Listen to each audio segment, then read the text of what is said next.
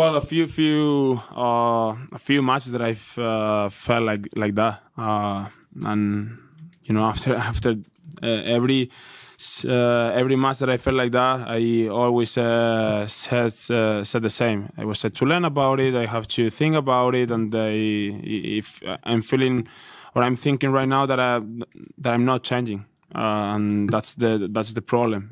if I'm gonna sit here after uh, after the matches that I'm gonna feel or I felt uh, like that that I couldn't I couldn't deal with with it. I couldn't uh, change the match or I couldn't uh, push me up a little bit uh, and say that the, so I had to think about it. I have to learn about it, and uh, it's gonna never change. It's, it's gonna be really tough if I want you to improve. So I I, I, I can't say much about it.